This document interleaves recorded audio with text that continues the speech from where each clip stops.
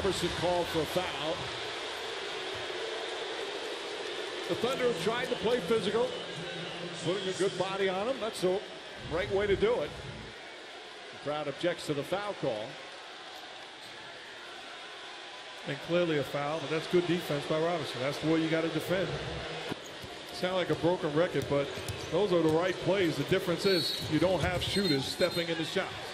Durant fouled by Roberson, then has words. They're going to count the basket.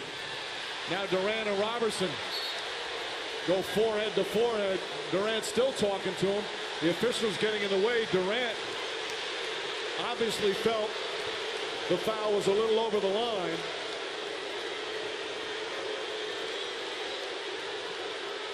The former teammates jawing at each other. He couldn't have been complaining about how hard that foul was.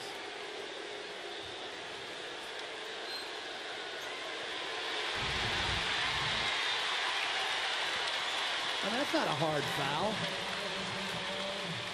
He fell hard into the stanchion, but Right. that's not hard. Not at all. Now he said something right after. Then they got nose to nose.